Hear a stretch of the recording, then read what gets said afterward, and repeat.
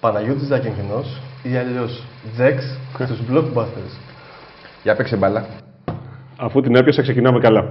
Γεια σας, παιδιά. Λοιπόν, Παναγιώτης Ζακενθινός. Ε, αθλητής του βόλεϊ και του beach volley, του βόλεϊ περισσότερο και προπονητής του beach volley από το 2003-2004 μέχρι και σήμερα που μιλάμε ε, και στην Ομοσπονδία και έχω και τη δική μου ακαδημία, την Beach Volley Academy.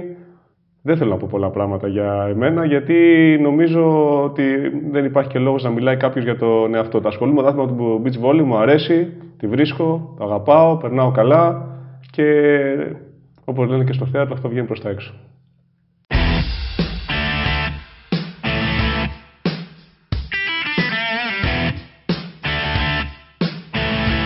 Best moment.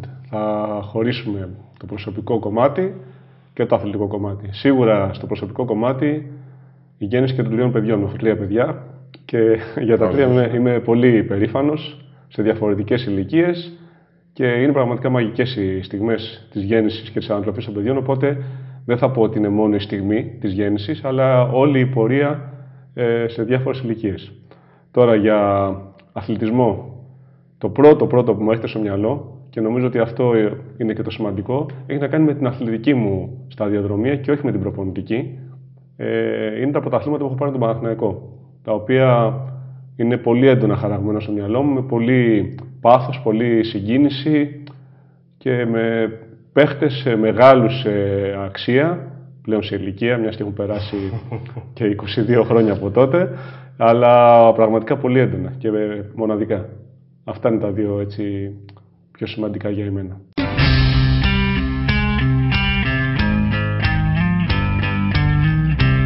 Χειρότερη στιγμή.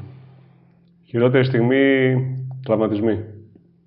Δυστυχώς αρκετοί ε, και κάθε τραυματισμός ήταν ε, δύσκολος. Και, και έχω σπάσει και το πόδι μου, κάνει και δύο εγχειρήσεις στο γόνατο, οι γιατροί ήταν και οι ψυχοθεραπευτές ήταν πάντα. ακούγαν το όνομά μου και χαιρόντουσαν. Νομίζω ότι αυτές είναι οι πιο δύσκολες στιγμές που πρέπει ένας αθλητής να τις ξεπεράσει. Γιατί παρόλο που η ιδιότητά μου τώρα είναι προπονητής, ο προπονητής έχει κακές στιγμές, αλλά οφείλει να αποστασιοποιείται όσο είναι δυνατόν από αυτές, γιατί ο αθλητής είναι το υγιές κύτταρο και ο πρωταγωνιστής που μπαίνει μέσα στο παιχνίδι και παίζει, και ο προπονητής πρέπει να καθοδηγεί και ακόμη και στην κακή στιγμή πρέπει να μπορεί να είναι από πίσω και να υποστηρίζει. Οπότε οι κακές τι προπονητικές στιγμές που σίγουρα υπάρχουν δεν μένουν τόσο έντονα χαραγμένες όσο οι κακές αθλητικές στιγμές.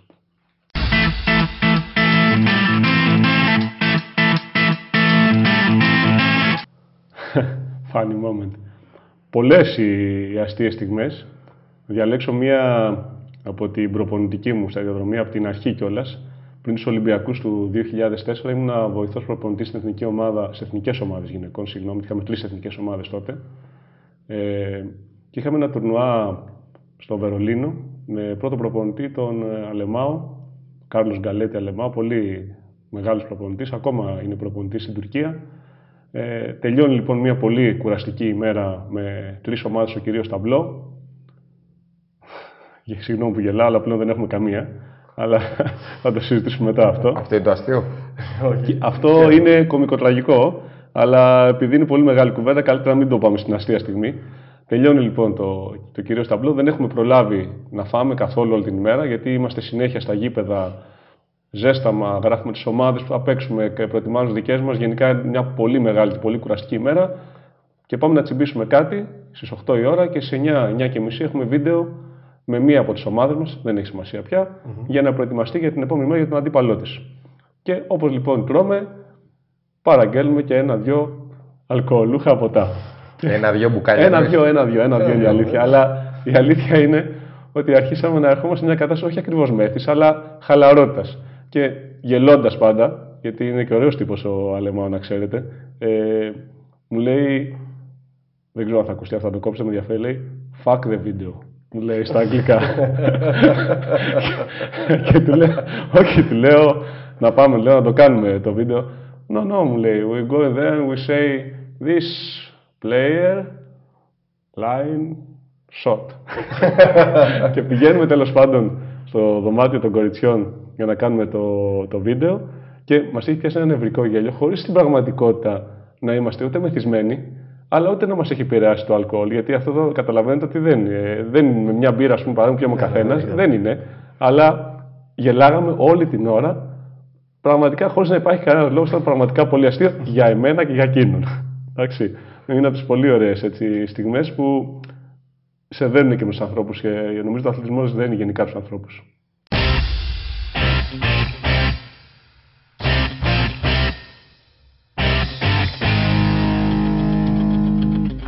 Ghost player. Παίχτες λοιπόν που με έχουν επηρεάσει με τον Α ή τον Β τρόπο. Και λέω παίχτες γιατί είναι πραγματικά πολλοί. Και θα δικήσω κάποιους, το οποίο, αλλά όταν έχεις συνεπάρξει και ήμουν τυχερός με πολύ καλούς και μεγάλους παίχτες, έχεις κερδίσει και λίγο κάτι από τον καθένα.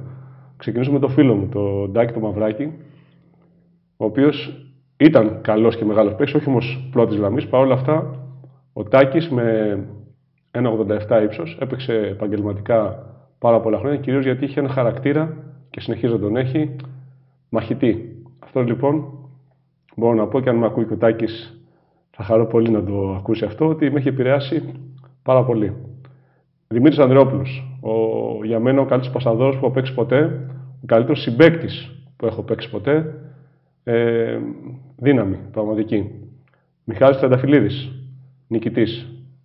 Ε, να κερδίσει με κάθε τρόπο τον αντίπαλο, όχι με, άντι, με άτιμα μέσα έτσι, αλλά πραγματικά πολύ μεγάλη φυσιογνωμία.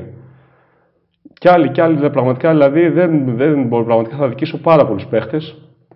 Διαλέξω από το beach volley ε, δύο παίχτες. Έναν παλιότερης εποχής που μπορεί κάποιοι να μην τον ξέρουν, τον Karch Kiraly, που είναι ο μοναδικός άνθρωπος που έχει κερδίσει χρυσό Ολυμπιακό μετάλλιο στη Σάλα και στο beach volley.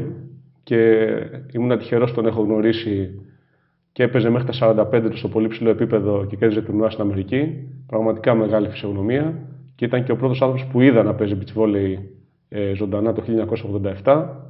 Και αυτή είναι μια αστεία ιστορία, θα μπορούμε να το βάλουμε άλλη στιγμή. Ε, και σίγουρα αυτός που ξεχωρίζει πολλά χρόνια στο άθλημα είναι ο Φιλ Νταλχάουζερ. Με το ταλέντο του, με την αποφασιστικότητά του, με τα σωματικά του προσόντα, κυριαρχεί πάνω από 10 χρόνια στο ψηλό επίπεδο. Αυτή.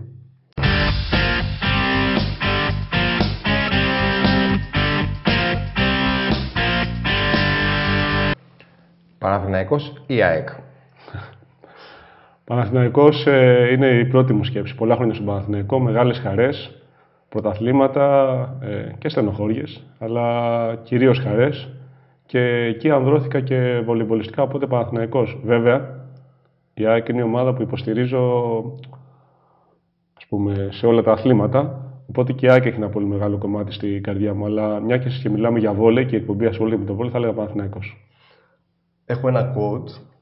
Ιδανικές συνθήκες για beach volley. Τι είναι αυτό. είναι το αστείο μας στη, στην Beach Volley Academy. Ιδανικές συνθήκες. Δεν υπάρχει για μένα. Δηλαδή, ίσα ίσα που ο καιρός, γιατί περί αυτού ε, αναφέρεσαι προφανώς, Αλέξανδρε, ε, είναι το αστείο μας. Ό,τι καιρό και να κάνει, εγώ λέω ότι έχουμε ιδανικές συνθήκες για να παίξουμε. 10 από φόρ. Καταπληκτικός καιρός για να μάθουμε να παίζουμε. Βρέχει.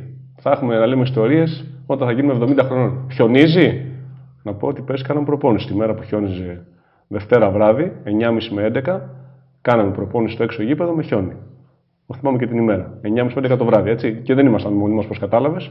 Κάποιοι κάναν προπόνηση. Και είναι πραγματικά πολύ ωραίες αυτές τις στιγμές.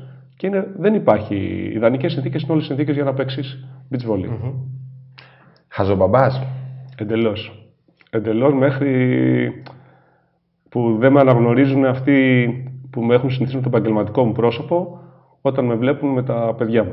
Εντελώς. Θα συμβούλευες ένα νεαρό παίκτη ή παίκτρια να ξεκινήσει beach volley ή σάλα; Πόσο νεαρός; Κάτω των 20.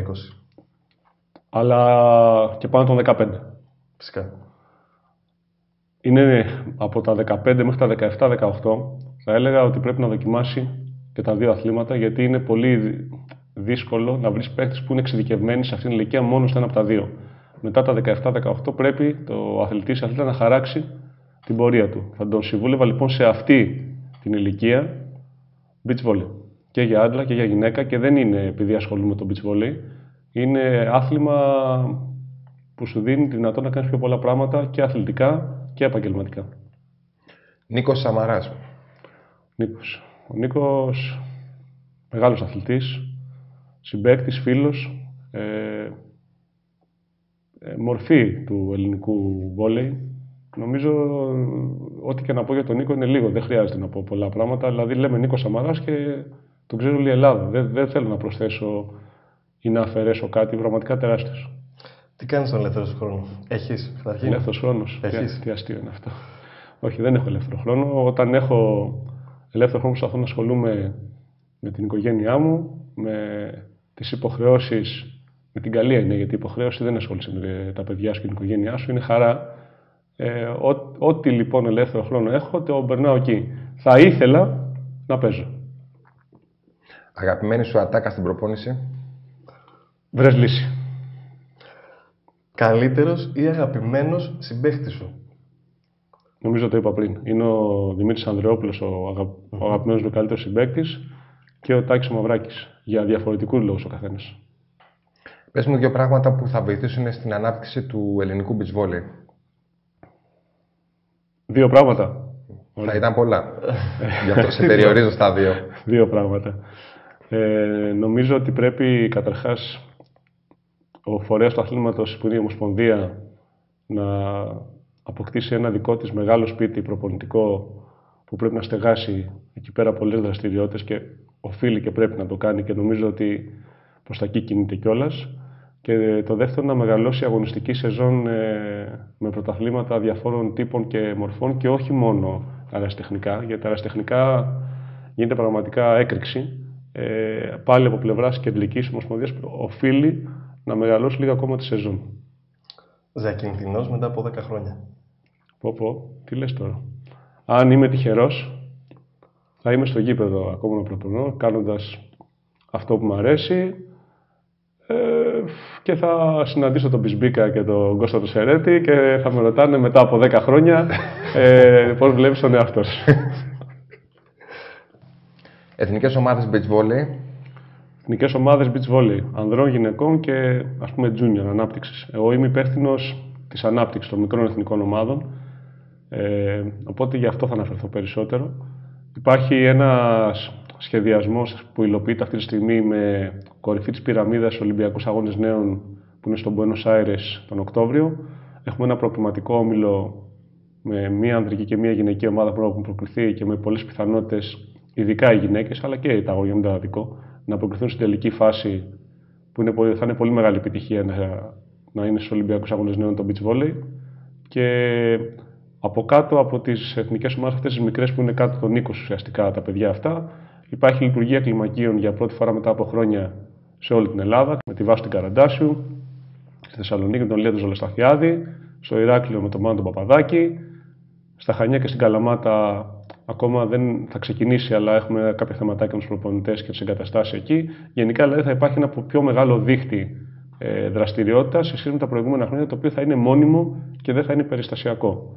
Οπότε είναι ένα κομμάτι που το αγαπάω και μου αρέσει πολύ και ελπίζω ότι θα πάει καλά, κυρίως γιατί πρέπει το άθλημα μας να έχει ανάπτυξη και πρέπει εμείς που έχουμε κερδίσει από το άθλημα αυτό και έχει επενδυθεί χρήμα και χρόνος πάνω μας σε διάφορες μορφές, να γυρίσουμε κάποια πράγματα πίσω στο άθλημα.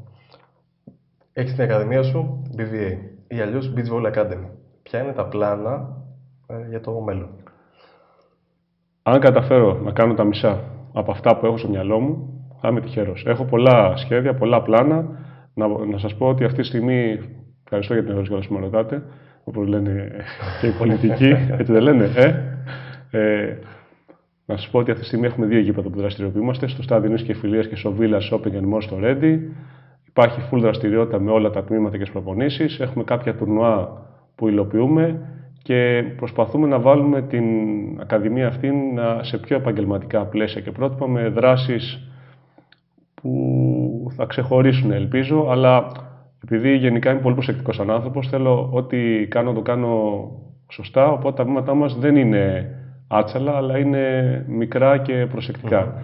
Μπορώ να σας πω όμως με σιγουριά ότι ετοιμάζουμε πολλά πράγματα και Τώρα, εδώ θέλω να αφαιρθώ και στον Φερνάντο τον Πιλίρη που είναι ο άλλος προπονητής, ο πολύ σπουδαίος της Beach Volley Academy που έχουμε, ο οποίος είναι πραγματικά καταπληκτικός. Όσο καλός ήταν σαν παίχτης, με πρωταθλητής Ελλάδος δύο χρονιές, το ίδιο καλός και σαν προπονητής.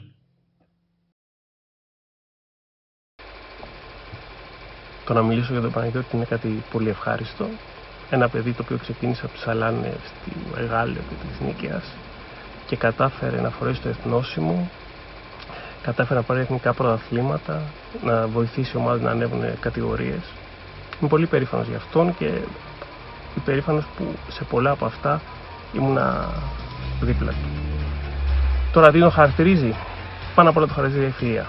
Η εργατικότητα και η σοβαρότητα δεν θα το έλεγα σαν αθλητή. Σαν προπονητή όμως έχει αυτά τα δύο στοιχεία που είπα, σοβαρότητα, ευθεία, εργατικότητα και του εύχομαι να συνεχίσει. Funny moment. Μια πλάκα, δεν είναι αστείο, μια αστεία ιστορία που έχει. γιατί αυτό θέλει και λίγο καιρό.